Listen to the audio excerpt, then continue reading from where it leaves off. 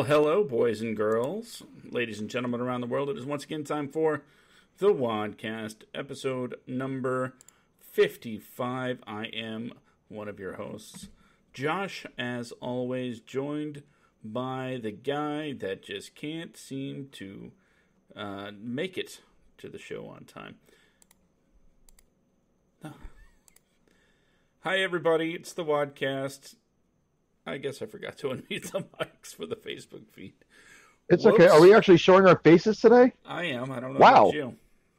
Well, I'm not ashamed to. Mine's a little blurry though. I don't know what's up with that. Sure. You know what? For solidarity, since this way everyone knows what we both look like. Yep. Here we go. Holy cow! Look, it's the guy. It's the guy from the show. It's the guy. Oh man.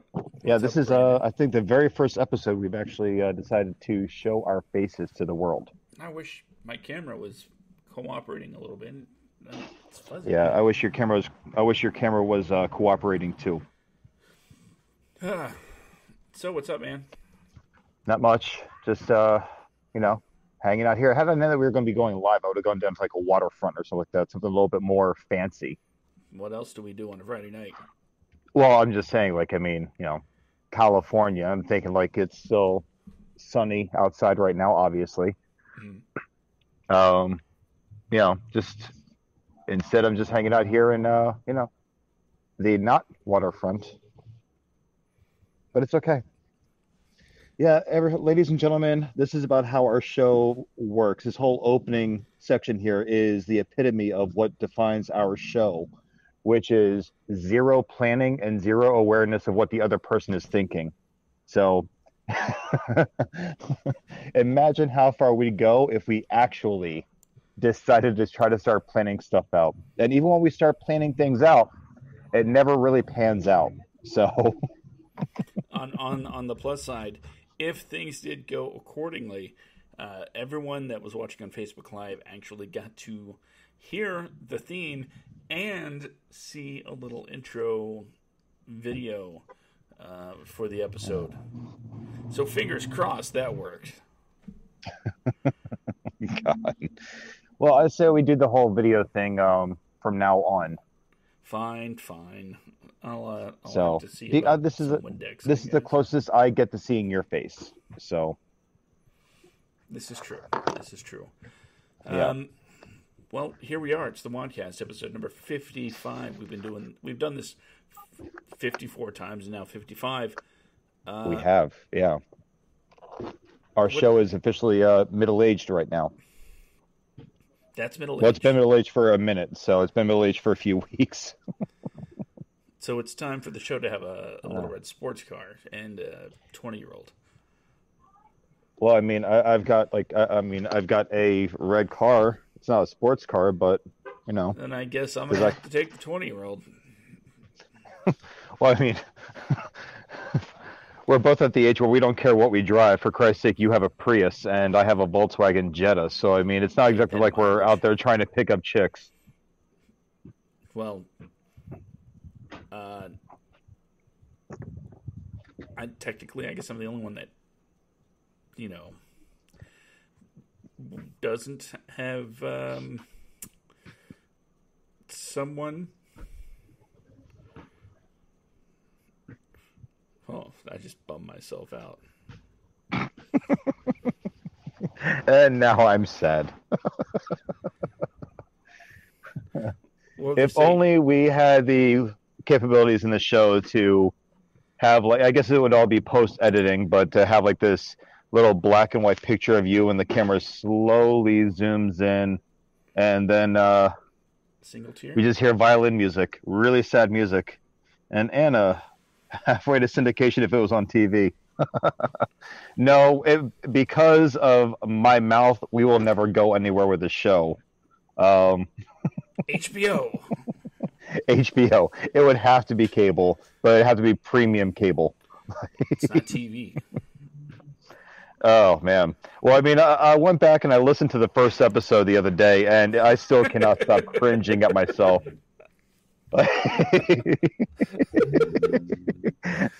I revisit once in a while. Like if I get like too egotistical, if I get too full of myself with any walk of life, I can always go back and listen to that first episode. I'm not proud of it. we we can say we've gotten better since then. Uh, I, I've improved a little bit, not uh, not not not much. We haven't But, you know, mentioned kind of- anything about wads and things happening. And ears, yeah, and being uh, projectile into someone's ears. Yeah, you're right. We haven't really mentioned any of that in quite some time. so uh, not since episode one. step up. So, We've uh, Anna, is so this. God, so positive thinking then. Don't patronize me. So, Brandon, um, now that we have the pleasantries out of the way, let's get down to business. What are we talking about tonight? Uh, tonight we are 55. discussing world building in uh, writing or just in movies in general. I'm not too like again. This goes back to our communication, um, and this is mostly on me this past week. Uh, but uh, world building and uh, storytelling and stuff like that. People that have to build every movie, every script, uh, whether a script is produced or not, always has a um, you know a world uh, built around the characters, and the world itself also connect as a story inside the story. So I mean uh, visual examples uh, inception. Inception is a uh, you know it, it's an amazing way to tell a story with a world inside of a world. Uh, Yeah. the whole setting uh, just like the whole dream world and everything. Oh, christ dream world nightmare on elm street has an amazing world. I'm your boyfriend now bitch. But um, uh, it's not the f word so it's still pg um, 13 but yeah that to my understanding um, in our complete lack of communication and uh, thorough planning I'm, I'm under the impression that's what our show is about tonight about world building inside of scripts and how they're conducive to the overall success of your story did that sound intelligent Yeah, I just thought of two words uh, for the show. Um, okay certainly put in a lot more thought than I did. Okay, no, that's not. That's not. The, that's not the case. I, I was thinking we would talk about because there are writers that maybe maybe they don't necessarily feel like they need to build the world that the characters live in. Uh, some Yeah. of them take for granted that oh, it's just the world, you know, the world that we live in. But even if that's the case, you kind of have to establish that it is the world we live in. There are certain things that you know you should throw in there, things that the character's going to do, places that they're going to be. Say, you know, you're you're writing a story set in New York City. Well, there's a certain there's a, a certain characteristic of, Yeah. of New York City that you kind of have to throw into all you know real world New York City scenarios. And yeah the ghostbusters firehouse is one of them hook and ladder 88 like it needs to be in there. Always. Every New York movie has to have it. Yeah. And damn well better. when you establish the rules of the world, when you establish, you know, some of the technology of the world, it really helps develop a sense of depth to your stories. Yep. Uh, look at what's something that takes place in the near future that I can pull from. Or no, the you know? Jetsons. You know, actually, technically, that is the near future. Uh, and and also Terminator uh, is coming up. Judgment Days. I mean, it's well. I mean, who the hell knows? It's always being postponed. It's kind Skynet, Skynet needs to get its shit together. yeah, that, date's always getting pushed around. yeah, I Um, know. It, it's it's like uh, it's like uh, you know, Skynet can't decide when it wants to get married. I don't know. It's always being postponed. But if you want to take uh, Terminator as an example, they set up the rules for their world. There's uh, companies, right? You'll see their logos scattered throughout. Uh, there's time travel involved. So you have to not necessarily iron out every little detail about the time travel, but you have to have an idea of what the rules are. Yeah. Otherwise, and this might sound a little nitpicky, but quite frankly, if you haven't been on the internet, you might realize that there are some people out there that absolutely love to pick apart your movies, Oh yeah. and they get a kick out of it. And I believe that there are some that are, shall we say, sadistic enough to take pleasure in the making writers absolutely miserable because they just do nothing but point out the plot holes and the inconsistencies and the the tiniest uh, and sometimes huge uh, details that will tear your story apart because it doesn't make any sense. There was Yeah. one case in particular that you know I'm going to throw this comment up here because that is true Absolutely. trolls and haters. maybe maybe you could say he was a very high profile troll, but Neil deGrasse Tyson took James Cameron. to Oh yeah. Titanic, right? Yeah, James Cameron, the guy that spent millions upon millions upon millions of dollars to make sure And years and years of research. years in research, research to get to get the china patterns right, to get the silverware right, to get you know the draperies and the uniforms and everything just exquisitely perfect to recreate the Titanic. And uh, Neil deGrasse Tyson, I don't remember exactly what he said, so I'm going to paraphrase. He was like, you know, with all that money spent on making the Titanic look good, you'd think he might take five minutes to figure out what the sky looked like. So, Excuse me, I'm listening. The astrophysicist called out uh, James Cameron for having the wrong stars in the sky for that particular night. So there is Yeah. always going to be someone that notices, um, no matter how perfect you are. And you know that's to say, and this is really a topic for a different time, but I'm just going to say that every movie has plot holes. There's no such thing as a, as a perfectly seamless movie. There are the movies that you, you know, overlook a, a few inconsistencies. Maybe they're Yeah. not so big. Maybe uh, it doesn't really affect the story. But you're like, you know what? I didn't even notice because I was too enthralled with the story. I was too enthralled, and I was too, too much. Um, I was living in this world that was built for me, an audience member, and that is why one of the many reasons why world building is so important. Do you think? Do you think Harry Potter, to use um, an example, Harry Potter would be half as recognizable as as it is if it wasn't for um, just all of the little details that were put into building the world, uh, from the stores to the lore behind, you know, uh, getting a wand of all things. You know, you could have just said, "Okay, they're going to go to the store and get a wand," but no, no, that became a whole thing, right? Uh, uh, she could have said, "You know what? to get to Hogwarts, you just hop on the train. Technically true, but um,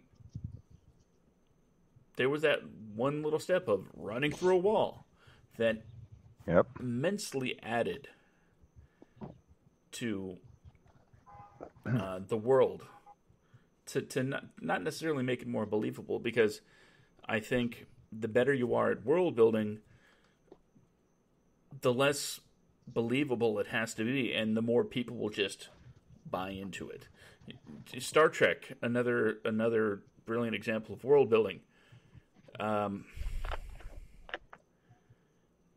I don't think people are watching because it's realistic. I think people love the world that was created, the world without money, uh, the the world that in real life has not only Starfleet Academy training manuals, but blueprints for the ships and a a language Klingon that is actually A few languages. a, a few languages that are that are actually taught at universities as foreign languages. It is one of the epitomes of world building in in television and film, and it's it's barely even breaking uh, through the amount of effort it takes to create a massive world that will fully engulf you. And that that is how fandoms are born when you have Yeah. these worlds that you just want to be a part of because the little details were fleshed out even kevin smith maybe you've heard of him Oh yeah, the whole View Askew thing. Like I mean, like you know, that whole like everything that he did. even even just from out of necessity, right? Not being able to use certain name brands. Um, next thing you know, you got fans that are clamoring for a pack of Nails cigarettes, a, a brand that doesn't exist, but people are like, "That is cool. It's part of the world building. I want a piece of it." I myself, in case you're wondering what I want for Christmas, have been dying to get my hands on a Mooby's uh, uh, fun employee shirt because I think it would just be rad. Yeah, I have one. Ah, God, I hate you. Yeah, I got one from the movie shop in uh, downtown LA when they were open out here. See, I had no no idea that that stuff was. Yep, I ate at a Mooby's. I had a moo milk shake, a cow tipper. Yeah, I had those, Josh. And you didn't. I go hiking where he goes hiking over at Runyon Canyon. You don't. I don't go hiking anywhere. Look at me. Well, I'm telling you, you need to come out, get your ass out to Los Angeles and uh, do a little visitation. Well, that's for But, uh, people with money to go coast to coast, man. Just, I don't know, hitchhike. Uh, like you've seen action movies. All you have to do is just run up and grab a hold of like a plane's tire before it takes off, and you're you're good. You know, If, free national travel. if movies have taught me anything, it's that it's entirely plausible to do that. as long as it's not Tom Hanks traveling, because then you're just screwed. You know, I mean, it's just it's bad. But uh, no, you know what? Um, and Anna, I'm sorry that we're not uh, responding to you with. Uh, I wanted to get let Josh get through his uh, thought there, but uh, Anna, thank you very much for your constant like interaction here. I really do appreciate it. Um, but uh, yeah, way to rub it in. uh, but yeah, like I mean, she says this. Um, she makes a point here when you're talking about Star Trek that like it's been going on since the '60s. Uh, this is a show that is, you know, approaching 60 years old. Um, and so with that, the fan base has just, much like Star Wars, You know, the one thing you didn't mention was Star Wars. You mentioned Star Trek, so I know where your allegiances lie, but it's it's cool. Um, It's true. Yep. but I mean, I don't think that they have, uh, you know, I don't think that like Tusken Raider is a language that's taught in any linguistics class whatsoever in any college. I, I would crack the hell up if it was. You know, just like you sound like a bunch of circus seals when you're talking to each other. I would love that class. But um, you know, it's, it's the worlds that these movies uh, build and then you have the movies that don't really build those worlds. I'll always go back to this movie to talk about how bad it is. Uh, the Room with Tommy Wiseau. It is great for the worst of reasons. There is no world. Uh, it's just it's the most you see of the outside world. I think is when he's picking up flowers from that flower shop, and I think that's really it. Everything else is filmed in like a back alley or in like a really badly made set but there's no world there. There's nothing. I beg to differ. I beg to not differ. There is like There are some rules that are set. For instance, to play football in, in the world of the room, it just In involves tuxedos. throwing throwing a football back and forth in tuxedos. and the most soft football throw you could ever do. Like the whole go long. Like, God. In that world, mood swings are not um, optional; they are mandatory. oh God. Oh, that movie. Oh, I can't. I So you know there a her. movie. Oh, hi, Mark. It's so bad. Do you want to order me a pizza? Do you want me to order a pizza? I don't care what you do. I already ordered a pizza. You're so good to me. Ah, it's so bad. it's just I can't.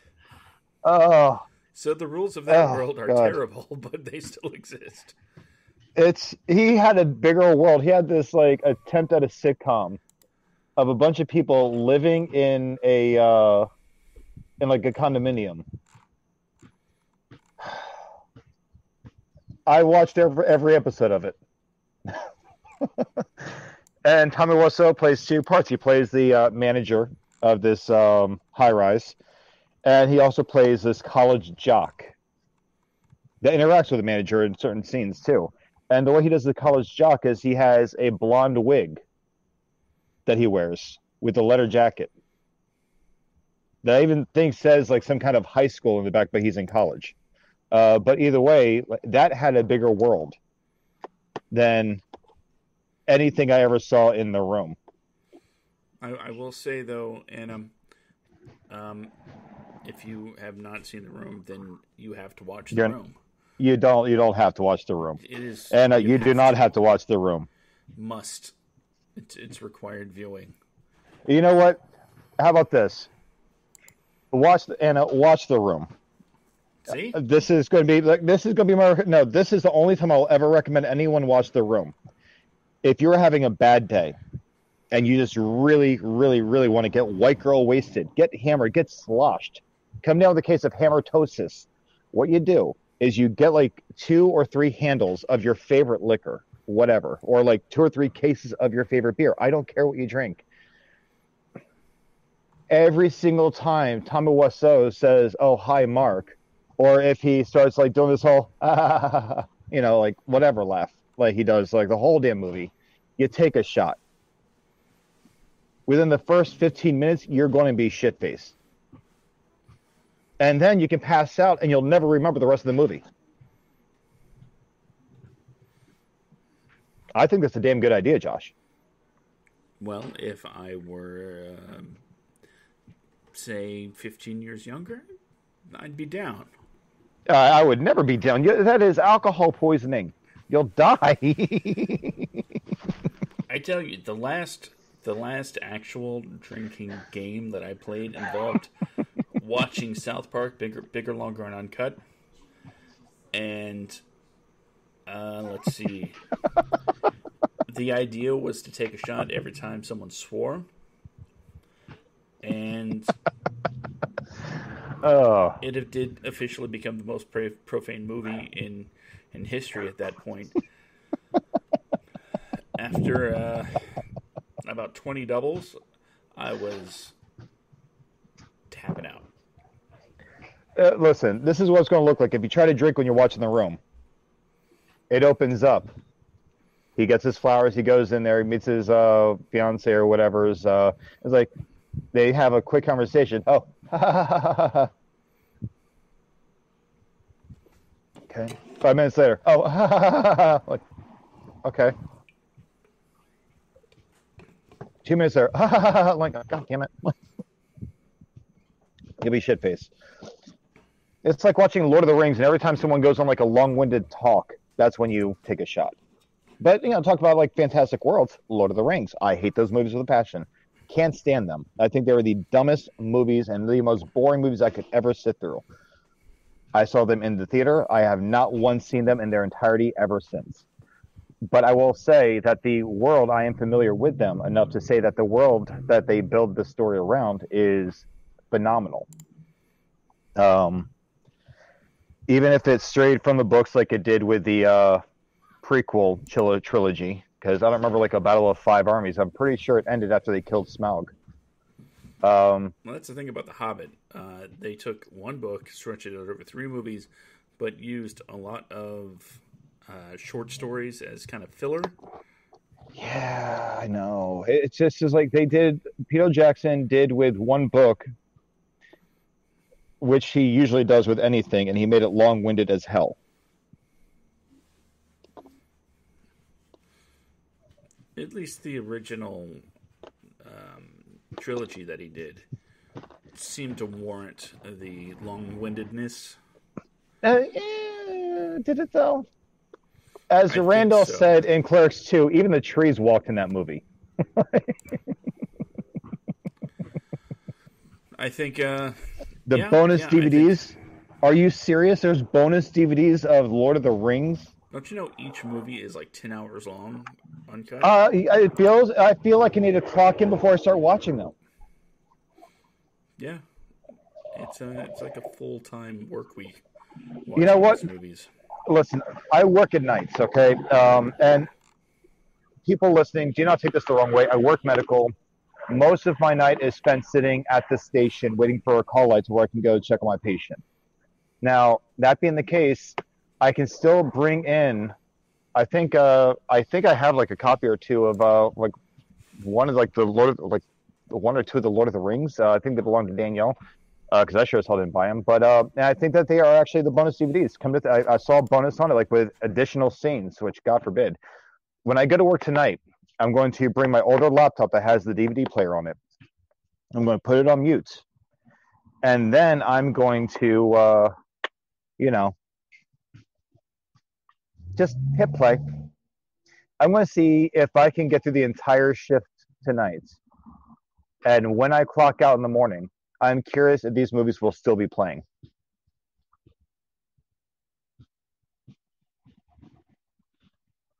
My God, Anna, the collector's editions are four DVDs each. Hell to the no. Josh, where are you?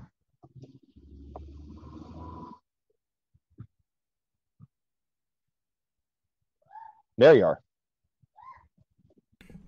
Is the picture any better? Well, yeah, it's better than a blank screen. Where are my where where are the kids? um, there's one over They have there. not seen they have not seen Uncle Brandon in a long time. Yeah, I don't think that's gonna uh, change today. Wow. Huh, I probably should have picked up before I turned this camera on. Probably. Yeah. Yeah. Yeah. Well, I mean, single dad life. What can you do? Well, uh, All right. So let's tell like let's go for the now like these stories. I know we've talked about examples of movies that have great stories. Now, what do these stories do for these movies? Um, these stories can actually be characters themselves. Yeah. Uh, I'm sorry. Yeah, these these stories. I'm sorry. The the surrounding the world can be a character in itself. Uh, looking at uh, Back to the Future, Hill Valley practically is a character in the series of uh, Back to the Future. Like every movie in that uh, trilogy takes place in Hill Valley at some point in time, and the character changes with each movie from like you know the present time to the 50s to the like like what uh, six years ago, and uh, to um, you know like uh, the 1800s and really the characters are the ones the main cast are the ones that evolve with this ever-changing character. Uh, you have ghostbusters. Uh, ghostbusters of course the uh, you know the main building in ghostbusters uh, that was created by the architect that was a gozer, gozer worshiper that is a character in itself and that is its own world and it creates another world of all the ghosts by channeling the ghosts with it right Mhm. um, and then, of course, Lord of the Rings. Each and every movie uh, of that insanely boring series uh, takes place in like this world of you know Middle Earth, and it's you know that whole area. Like it, it, does a lot for the story. It does a lot to enhance the story because in that world you have all the kingdoms. You have you know the Shire. You have like you know like the like Smaug's lair and the uh, Mordor. I guess like I guess that is a kingdom, right? mm-hmm but and Inception. Inception. I look at Inception a lot like, uh, well, I guess similar to uh, Doctor Strange when they're like altering the buildings around and everything else. But Inception, with it being like in the dream state and everything else, again, it's like a character in the movie because it is something that they have to work with and interact with. So imagine having a title of, of one of your characters, uh, a job title being the architect, right?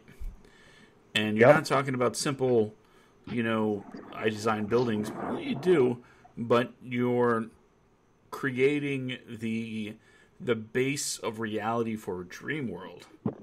You're the one making the the rules for what's going on, and and, and that's kind of exactly what the writer does, creating Yeah. the rules.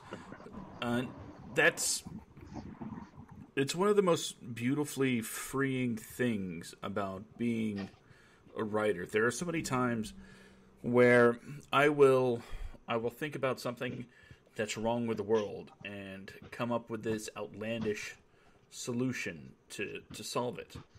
Or Yeah. come up with you know these different rules that are like oh this should be in place this should be in place.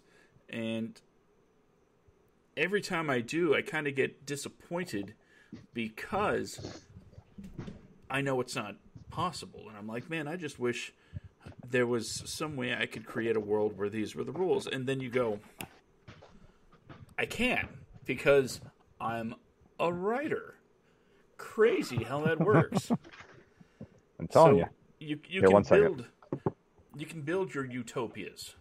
You can build your your perfect dreamscapes. You can create worlds where you get the girl slash guy slash you know whatever. You you can get whatever you want.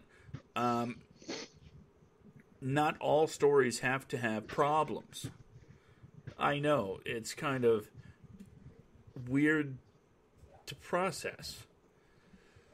Now, mind you, the the stories without problems aren't really fun to read as an outsider, but for you, it should be uh, therapeutic at least, right? Um, Yeah. And and and I do believe there is a certain certain line of cinema that is based solely on uh, a world where there are no real problems.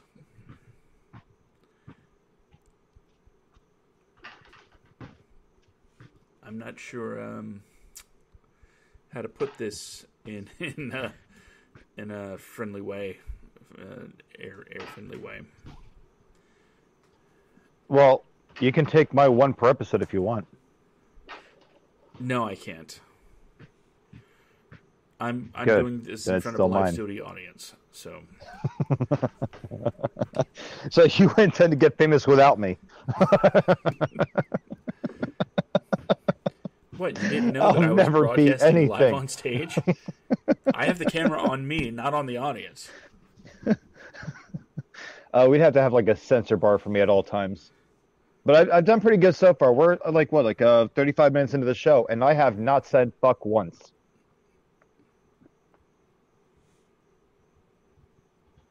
That's my one. You know what? Every time you do What? that,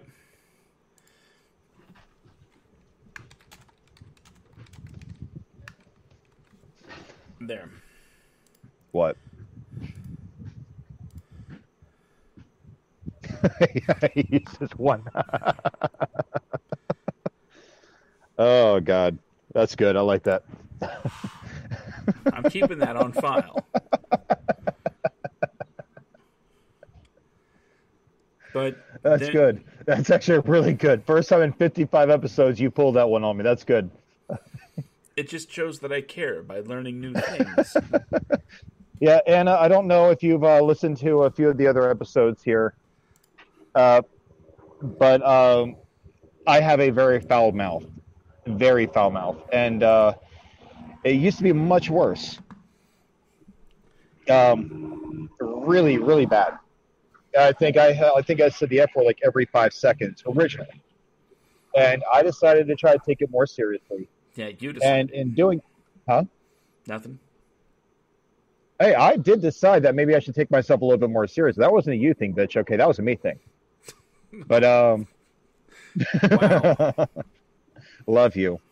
But um, but I, I realized how bad my mouth was because I was listening to an episode one day and I was like, oh yeah, this is pretty bad. And it wasn't the first episode. It was I think like around like uh, what like fifteen or sixteen, something like that. Before I decided to start really, I guess, toning it down. So I started to give myself one use of the big no no f word per episode. And ever since then, me and Josh have had a much nicer relationship where he has not been like rolling his eyes at me, at least not that I know of. And uh, yeah. Well, I guess now you So Josh, know. it's huh? Yeah. Now, so are we doing this whole uh, live thing from now on? we can. It's, Okay. it's no problem to me. I'm gonna I'm gonna go ahead and do this though real quick.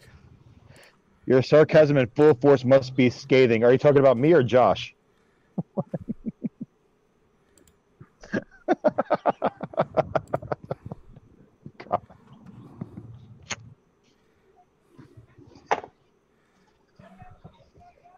Oh my god! A little something for the uh, Facebook watchers.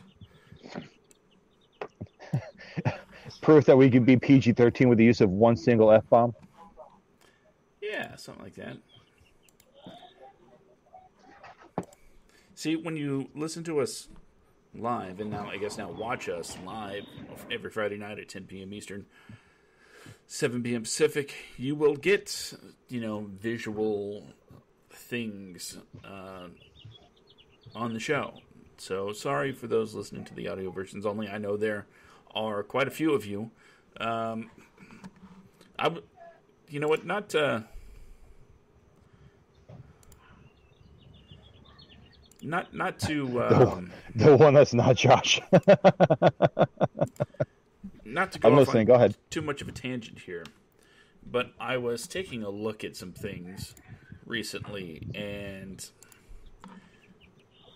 I I noticed some surprising facts. Okay. Like what?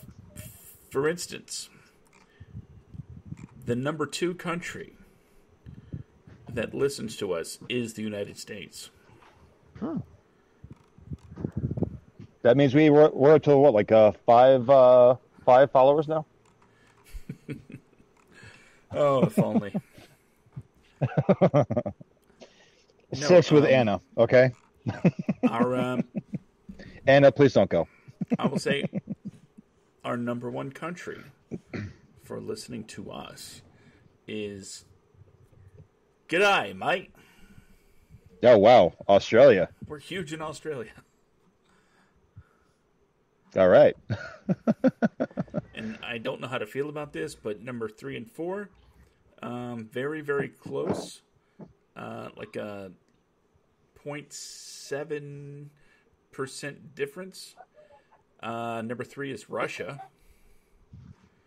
Okay. So And um, number four is Israel. I, I, didn't mean to say it like that. I promise. It, it just, I mean, it, it, meant to come off as more of a surprise, like Israel. Shalom. Yeah, that was uh, more of like a WTF kind of Israel.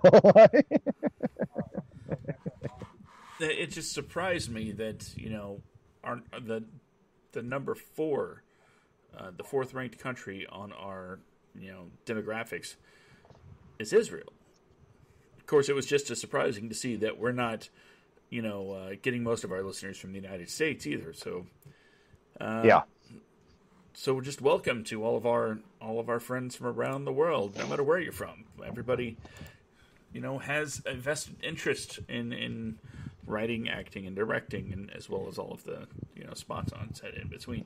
Maybe maybe Yeah. that's it. We we're we're popular among a very specific group of Australian gaffers.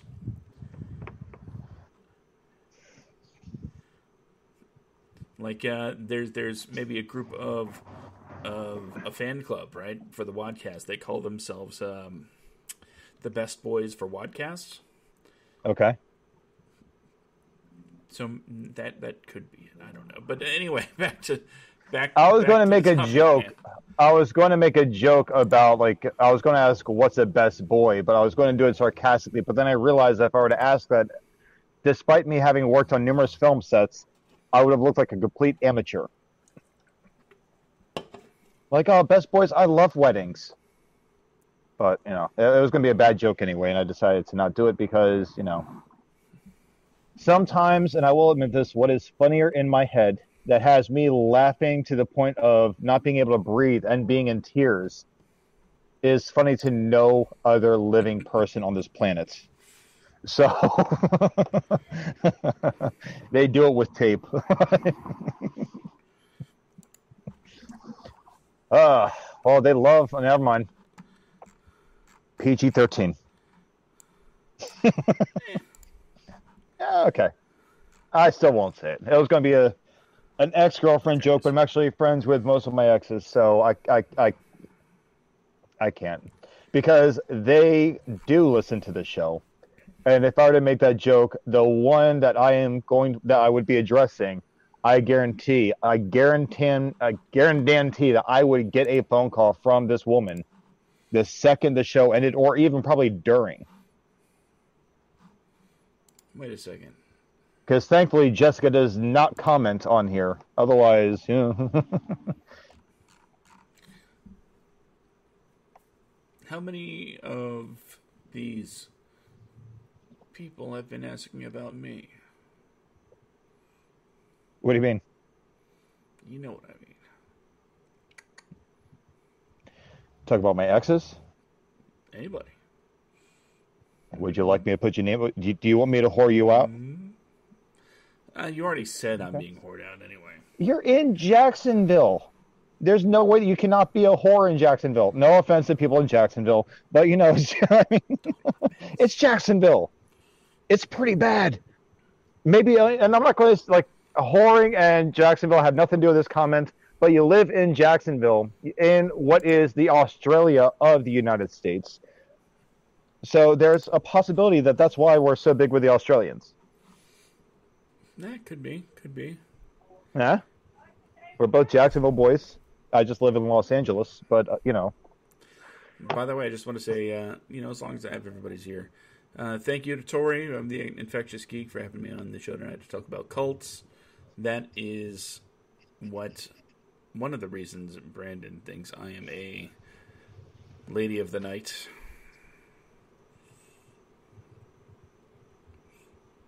I mean, you are whoring yourself out to other podcasts. I'll say that. There's no longer any sanctity in our own partnership. You have to, uh, you know, get your jollies off somewhere else too. I, I just want to throw this out there. You know, I'm running a podcast network. And for the network to work, there needs to be more than one show. I mean, I mean, I can't be like CBS and just play CSI. Well, I don't remember getting an invite for these other shows either. Oh, feel free to, to come on any of them. Well, now it doesn't count. Now it doesn't count because I just had to invite myself onto the show. Like I shouldn't have to invite myself to the party. It should be like, hey, Brandon, you know what? My friends would really like you. You should come hang out. You'd click in really well. Oh, Josh, thank you so much. I appreciate that, buddy. Hey, no problem, Brand. That's what friends do. That is what friends do. But you, no, you don't do that. Uh uh No, with me, I'm just over here like just. Let me get close to the camera so you can see this. I'm just over here like.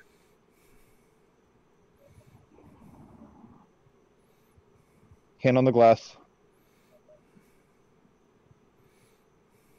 I'm sorry, it was a bit presumptuous of me to think that doing one show and the research for that, plus It was. the uh, the project we're working on, that you are actually toting on your back almost single handedly, plus I know. your full time medical job, plus your significant other, plus your baby. Ish.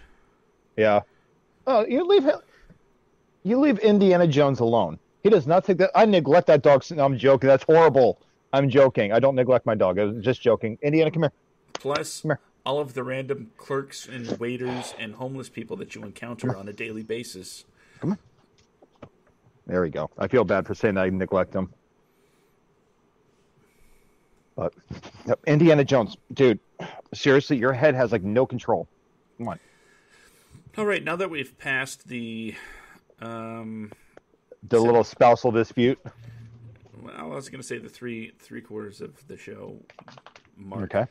You know, how about you and I? i we've spent a lot of time naming good examples of, you know, worlds that have been built, and we've even named an example or two of worlds that didn't really launch very well.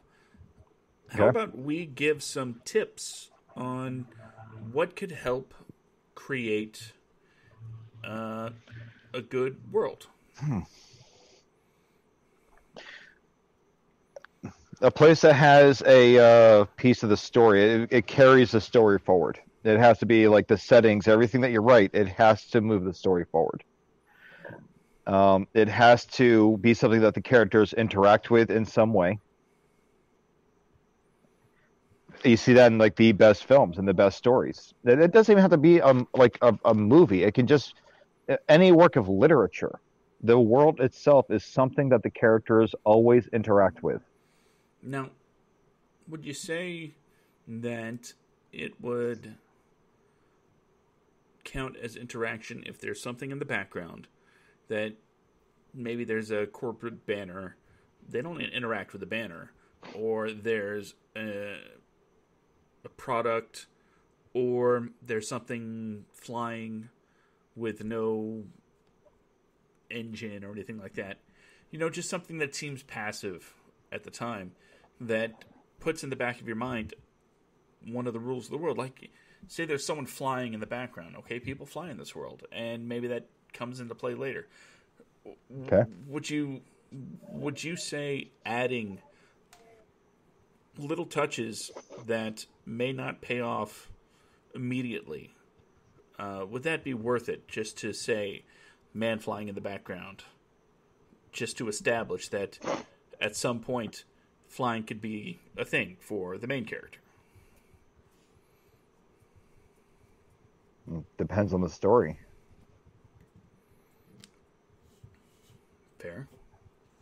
Like, it really depends on the story. I mean, like you could have had a, uh, you know, there's ways to, I guess. So you're, talking about like foreshadowing, though. Sort of. But it it's um, also a part of building the world that you're in. Um, showing what the rules of the world are, showing what the boundaries are, and establishing the the laws of it, eh, you know, if you will. Okay. Well, I mean,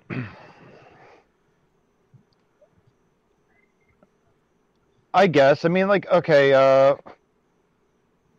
Okay, Anna just mentioned Meet the Robinsons, and she's got a good point with that one. The world is very intricate, and there is, I guess, something of what you're talking about in that movie, like itself. Uh, there is actually, you know, the interaction with like the old guy wearing like the hat. I, I forget what the connection was um, at first, but it's made clear that he's got some kind of stake in this science fair. Okay, uh, but what was that movie that just came out with like all the uh, the family going on a road trip to drop the daughter off at college? Uh, it, it was on Netflix. The um, Um, the Mitchells versus the Machines. That's what it is. There's a line talking about her dependence on technology. And it ultimately turns into her battling, her whole family rather, battling technology. But her being the last hope for her family against the technology. So there's uh you know you have these you have these things where I think that you can connect these things into the world uh, and I guess kind of there is something like that in a movie, but not in the, the only one I can think of is in uh, Kick Ass.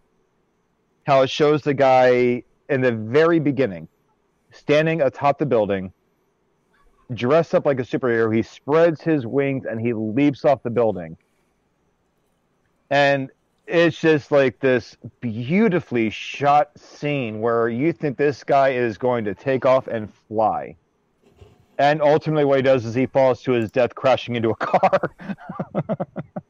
but it's a world where they mention the idea of superheroes.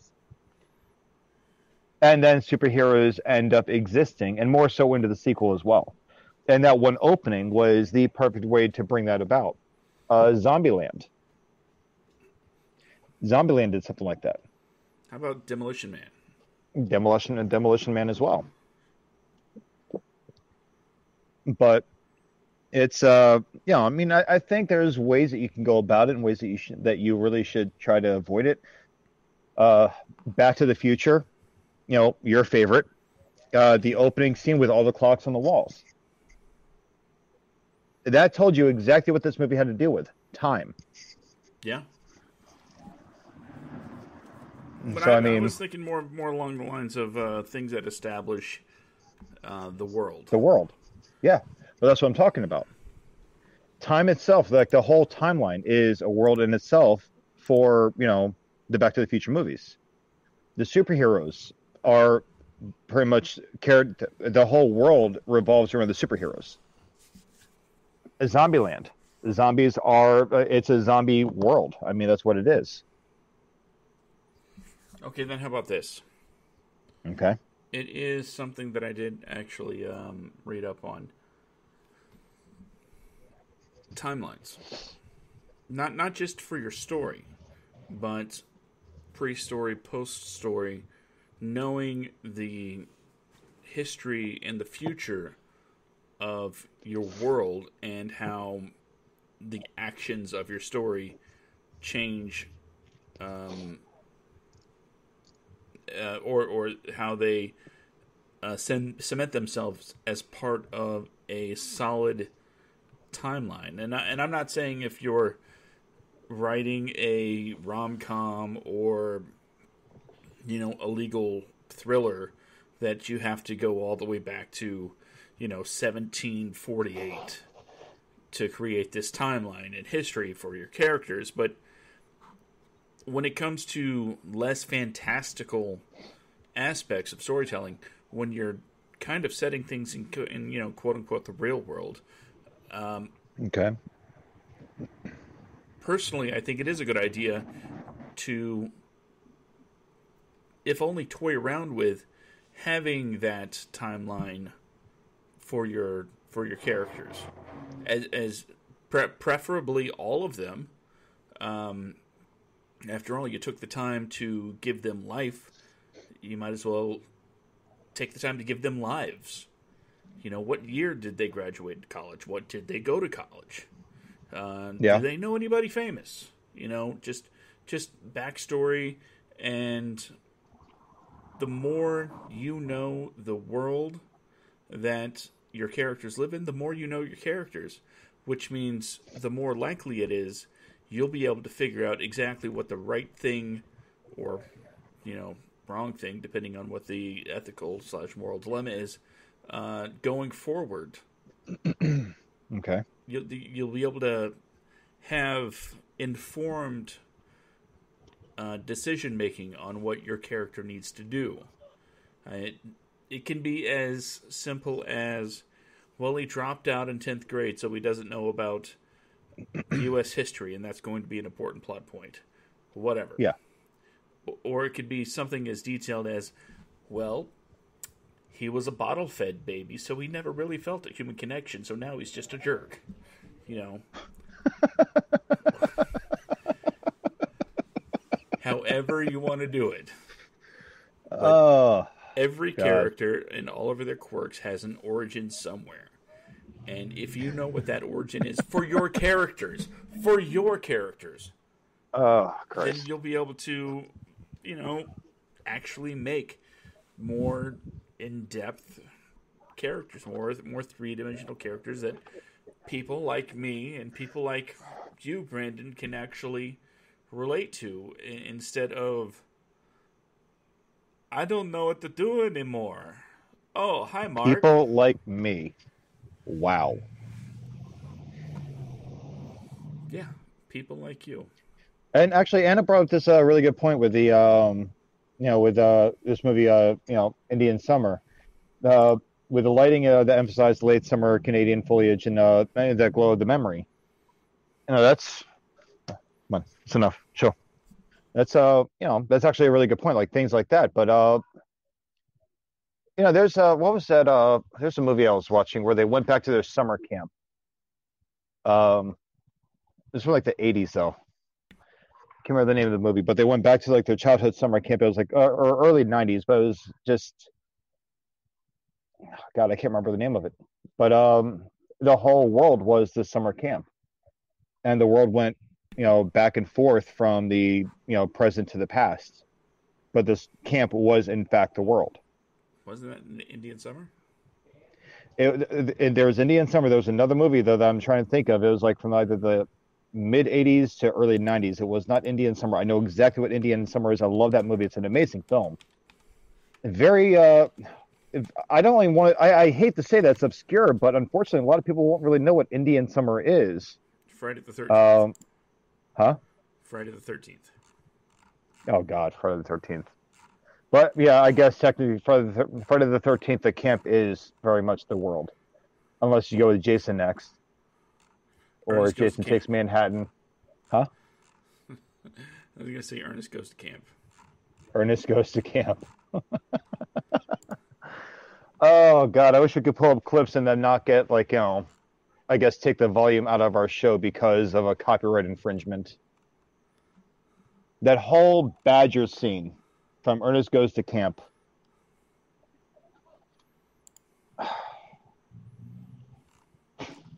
I laugh to the point of like tears every time I see that. I'll laugh for like hours. Um, I'll think of it. It's not Indian Summer.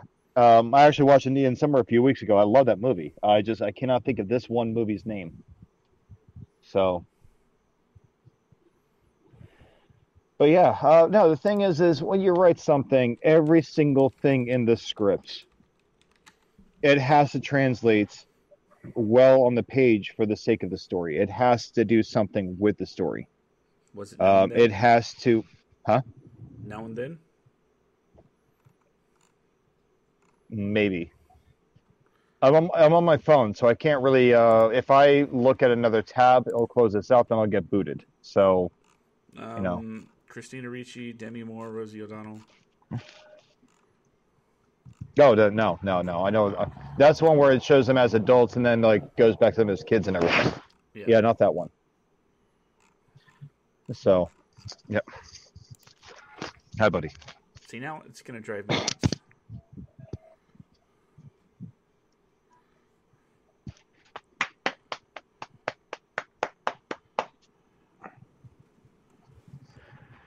Yeah, I can't think of it.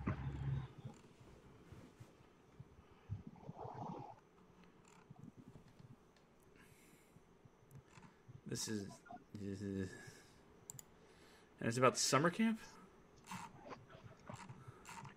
I think so. It's been years. I have to I have to figure out what it is because I thought it was Indian summer, but it's not.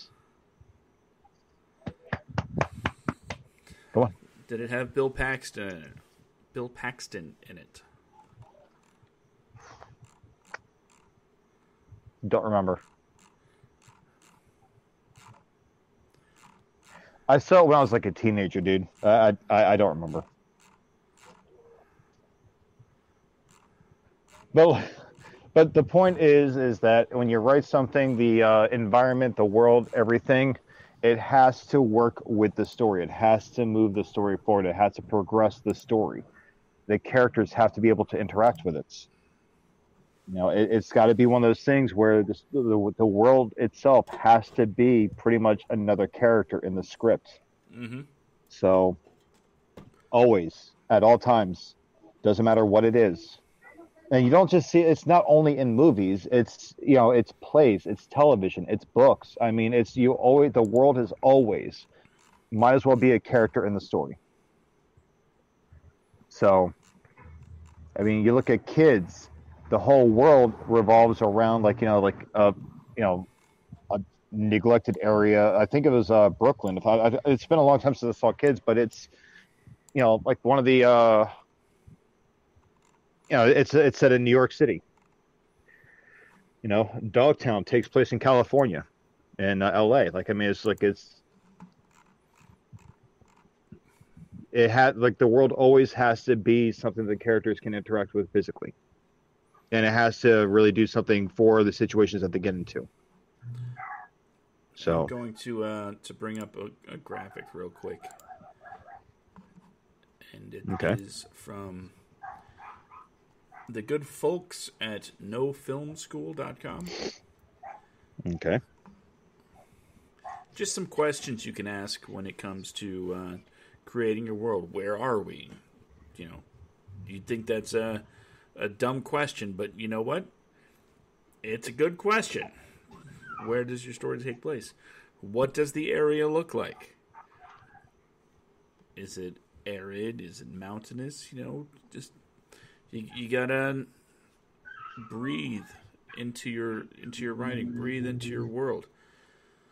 Uh, what kind of uh, are there dominant cultures we're going to meet? It doesn't matter what the story is. There's always going to be point counterpoint, even if it's just one person in the story. There's going to be uh, some sort of conflict with something, and there's going to be a top and there's going to be a bottom. Uh, who inhabits this world? Is it 100% human? You know, and that- dogs. and that's actually a good example. Alien or aliens more so, uh, but Alien. You know, you have the uh, Nostromo, Event Horizon. The whole world was that ship, and the ship itself was a character. Now, I guess like sci-fi, it's usually a commonplace thing though, because like you know, even Avatar. Well, I guess more so James Cameron. Uh,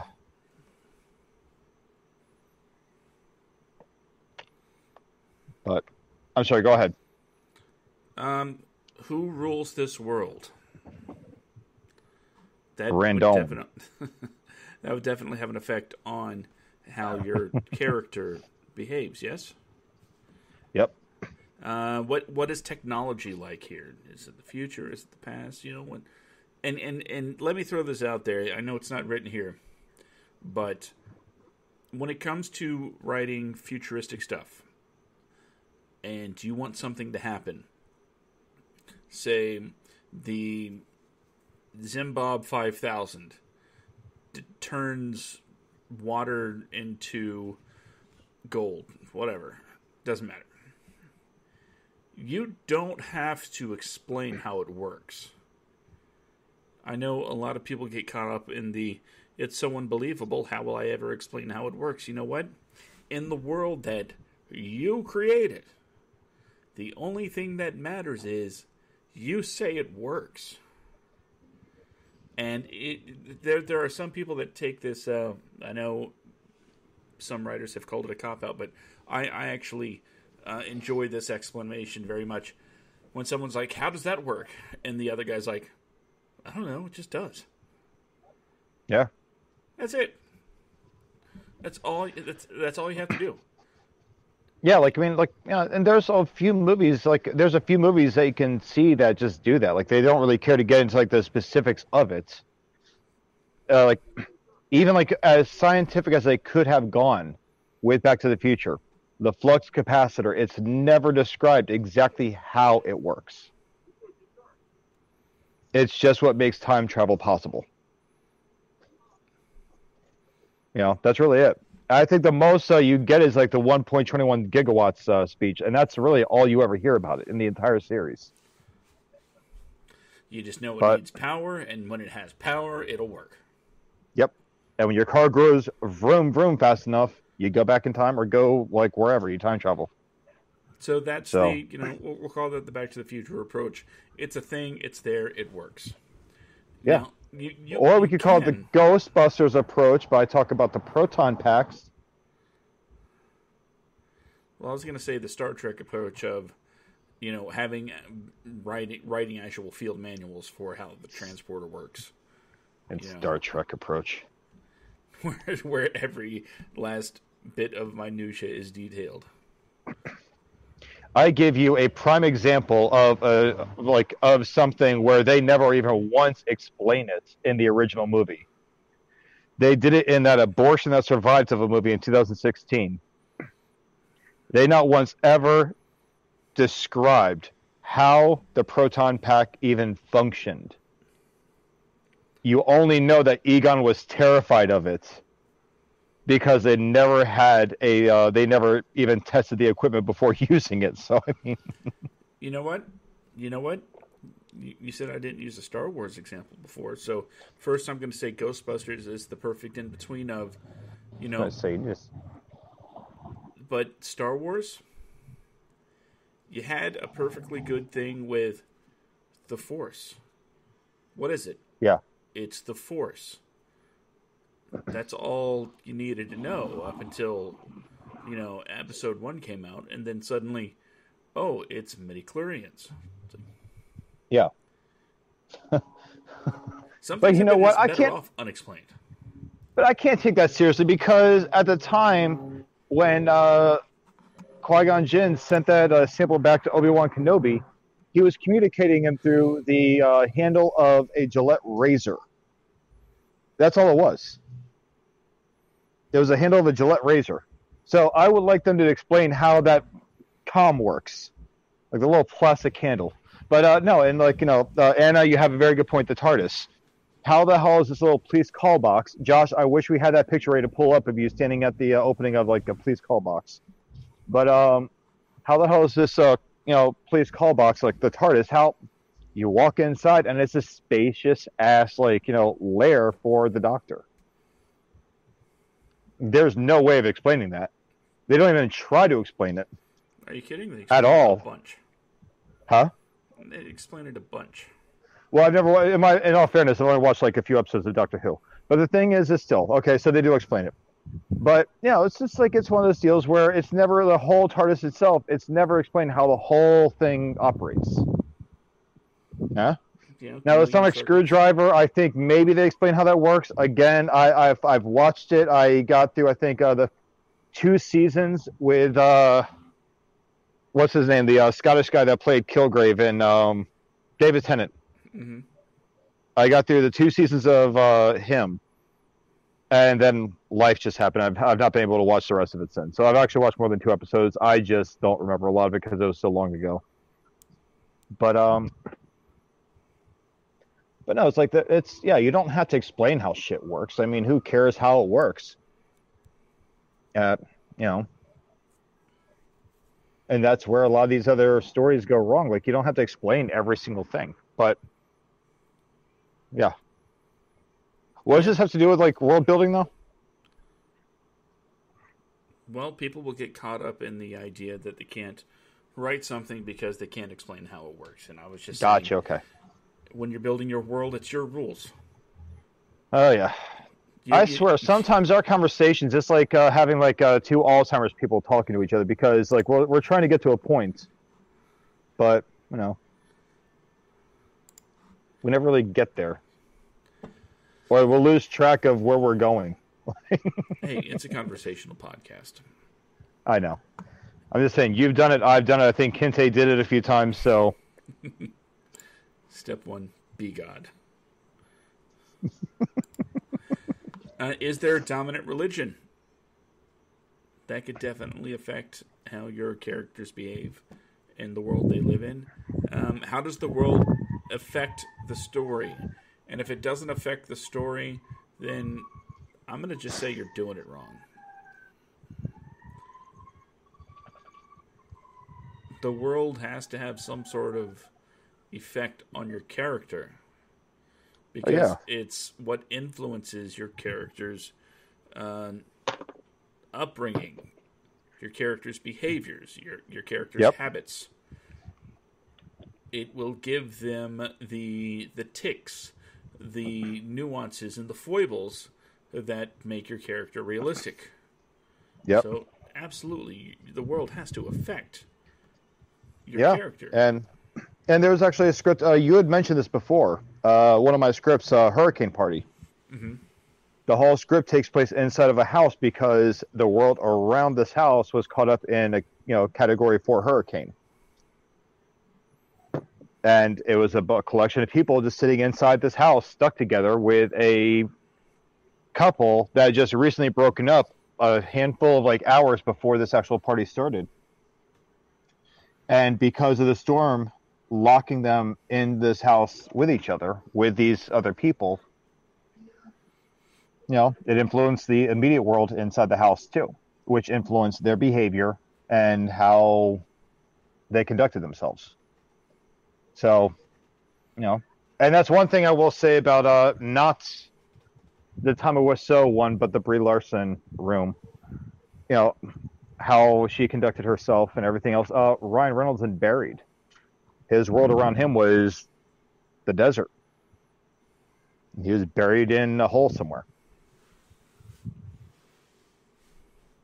But even in that box, with the only line of communication being a phone, the only light being a lighter, and I guess the phone, uh, there was still an entire world built. You got to get a feeling of who he was, what he did, and what was going on away from him. Um, Yeah. But never quite figuring out what was going on uh, as Yep. far as why things happened. So yeah, Yeah. and uh, finally, does the physical world change or arc? Now, not every story is going to be a world changer, right? You know, as No. far as the whole world goes. But you would hope that at least a small part of your character's world is changed by what's going on in your story. Whether it's, you know, now he wears black socks as well as white socks when he used to only wear white socks. You know what? The world's changed. Why? Because he's got to go buy the other color sock, and yada, yada, yada. People are going to be surprised. And you know what? It, it affects the world around you because the world doesn't necessarily always mean the world. It just means your character's world. Yeah, your yeah the character's surroundings. Bear with me, my camera's uh, got some issues going on right now, Okay. Um, but I'm still here. But uh, yeah, but like that's it. Like I mean, the world around the character, like it, it ha- again, it's got to like the immediate surroundings is the world. What you see around this character, events happening around the character, what is affecting the character's actions, that technically itself is the world. You know, uh, a lot of people are not familiar with uh, this movie. It's it's not a very. It's one of my favorites, Dark City. It's a sci-fi film from the 20s, uh, from the uh, nine, 1990s. that's one. It was an amazing film, but the world was this ever-changing city. Now, I know we've actually discussed that between, like, you know, Inception. You've seen that in uh, Doctor Strange. Mm-hmm. You've seen it a few times, but like this movie, the city was ever changing, and you you saw its effects on the character, on all the characters actually. The protagonists, the supporting characters, and the antagonists. You saw this world and how it affected these characters. But it's got to be something that the characters interact with, where that has a direct effect on how the character grows throughout the story because the good story is a character has to have some growth. Even if your character loses in the end, he has to grow. He, she, whoever, that character, your protagonist, has to grow. And the world is directly responsible in some way, shape, or form of making that happen.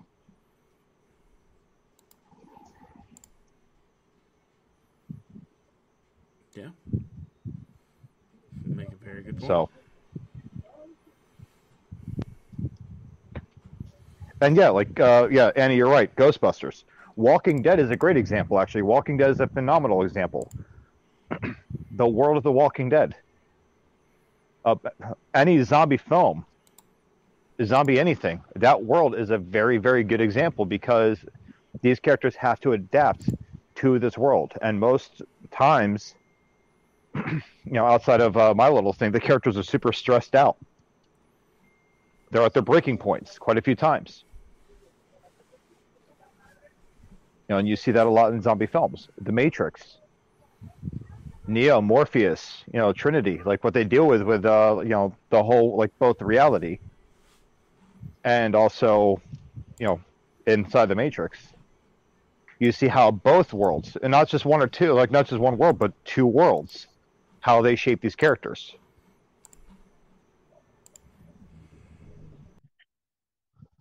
So I think I think the Matrix is a, I think the Matrix is a phenomenal example.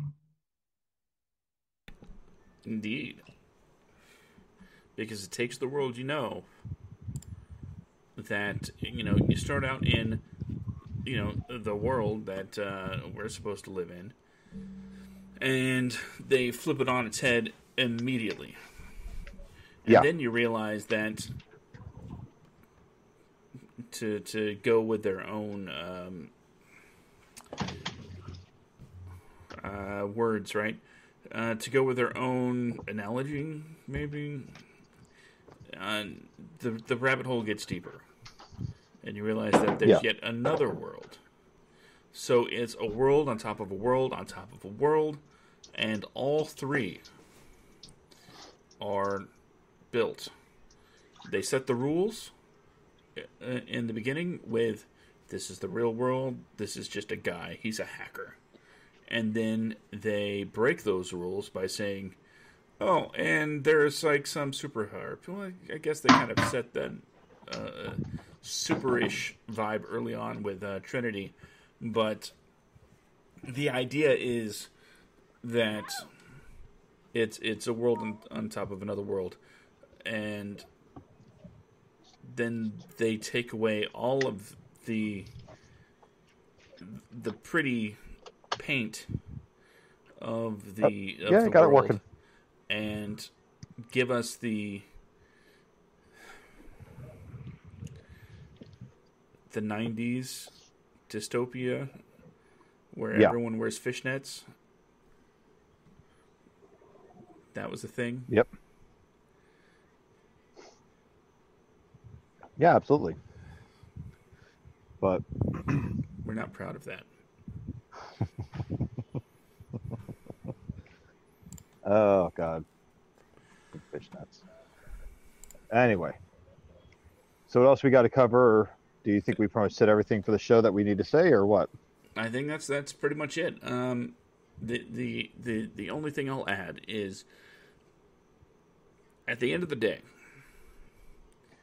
there is one rule one rule you absolutely must live by when you're a writer, when you're a creator. Uh, Anna touched on this in in one of her comments. It's you are God. You Damn right. are the end all be all of the worlds you create. You set the rules, you set the tone, you make the magic happen. There is nothing off limits. You write whatever you want. Now. Keep in mind, there are some things that you write you probably shouldn't show people. Half my shit.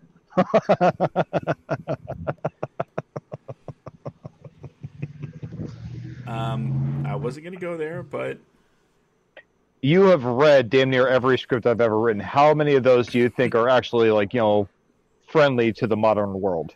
well, there's the one we're working on. What? I said there's what we're working on. Oh yeah. Well, well, we never actually give a teenage girl herpes, though. We just make her the star of a herpes commercial, and the joke is that the agent gave her herpes. Mm-hmm. And there's So- more to it than that, but you're going to have to watch eventually. Yeah. Well, well, yeah. That's something that's going to come. Uh, that's something that we're going to reveal soon to everybody. So, yeah. Don't worry. That's coming. So uh, remember, writers, creators, follow your own rules because nothing anybody else has matter matters. Brandon, speaking Joshua. of being a god of your own world, where can people pray to you? Well, you can worship me on uh, Instagram. You can find me at bjacksman82. That is uh, B as in boy or my name Brandon. Uh, Brand Jacksman82. J A X eight M A N eight two. Uh, you can also again. find our page. Huh? Say that again. Th- Your Do you not follow me on Instagram? I do, but Okay. I don't have my Instagram pulled up. Okay, B Jacksman eighty two. So, but uh, yeah, so you can find me. You can you can find my personal Instagram there. It is public. I have nothing to hide from you people. You don't scare me. But uh, you can also find our page on Instagram, uh, the Wadcast. Uh, you'll know our page on Instagram because if you type in the Wadcast, you'll see this little black picture with a white banner in that picture with the words Wadcast in it. Same thing goes for Facebook. Uh, just go to our Facebook. And right now, it's not a little black picture with a white banner. Now it is because we're still in Gay Pride Month. We are very much still rocking the rainbow banner, but it still says Wadcast in it. Um, so go there, like, follow us, and you know check out our shows. You know, just come to our shows. Uh, I'm working on getting some ideas for um, you know some different kinds of things opposed to our pages. Uh, so those are in the works. So we have more stuff coming your way. But that's where you can find uh, me, and that's where you can find us. Now, my Facebook page, I will not give that to you. You will see me liking things on the Wadcast periodically. So if you catch my name, send me a friend request. I may or may not accept it. I don't know. Depends. Uh, but, you know, that's where you can find me. That's where you can find us. And help us find you. Let's reach out and touch one another in the most digital way possible. Josh, what about you?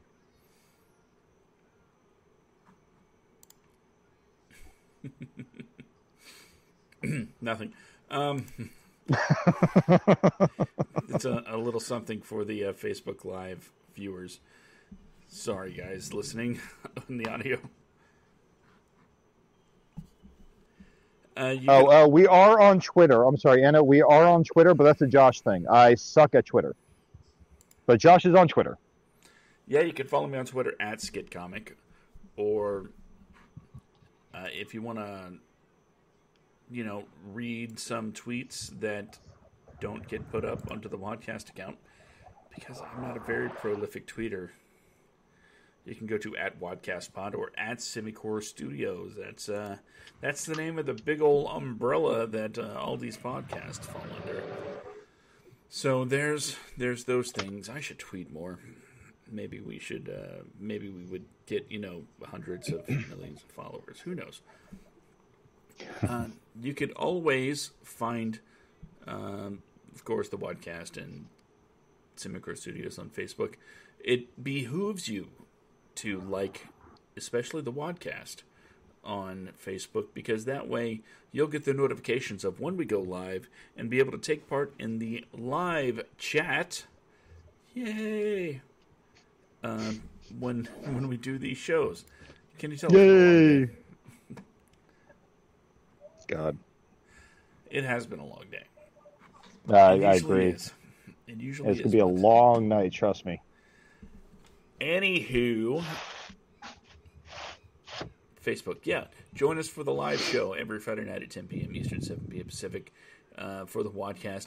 Oh, oh, and I'm not gonna put up any links, but if you do feel froggy and you want to look up Semicore Studios on Patreon, I do have some tiers set up, and some of those tiers involve, you know, like being in in the uh, in the old Streamyard room with us while we do the show. Not on the show. That well, that is a tier, but being in the StreamYard gives you access to like a private chat and be able to take, you know, all of your questions directly. Yada yada yada. You know, just go check it out if you feel like it. You know, maybe a buck, five bucks, whatever. I'm not going to shove it down your throat. Quick question, Josh. Uh, yeah. I just noticed this. I just looked at the screen here. Uh, before he gets sent to jail again. I don't know what you're talking about. Uh huh. Yeah, that's what I thought. I was promoting the podcast on Insta. Such a wise ass. Yes, everyone. I'm a repeat offender on Facebook. I've been in jail, I think, 10 times now on Facebook. I'm surprised I still have an account. And Josh likes to rub it on my face. And most times, as of late at least, it is for something I posted, a stupid picture I've, or meme I posted from 10 years ago. So, uh, thank you, Josh, for, uh, yeah, uh-huh. So I thought, yeah. No, it's Brandon that needs the bail money, which you can donate through the Patreon. No, I just uh, I quietly spend my time and I save the links on things I need to go comment on. Don't worry. you know what? But either I, way, I've got to get out of here. I've got to get ready to go to work. So yeah, I have to give the final message. So uh, I'm going to go ahead and do that it. real quick. Okay. Music's playing. Okay. and this is for something for the audio listeners. They're the ones that hear the outro music. And I want to say, now that you can see me actually saying this, remember, the only thing standing between you and your dreams is you. That's right. Don't let anybody say you can't do something because you know you can. Whether it's to the you know ultra high success level of Steven Spielberg or just something that you get made and put on YouTube. If you want to create something, create it.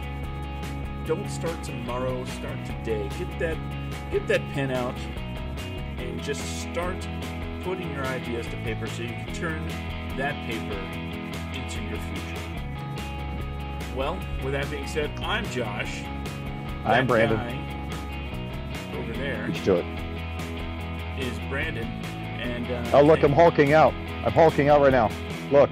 Grrr. This is actually this light's actually this light's actually white. It just comes off as green in the uh, filter. I don't know why, but it's like it's like the Incredible Hulk. Like I'm Brandon.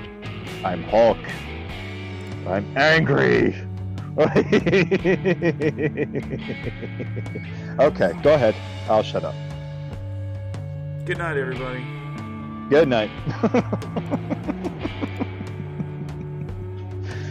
oh.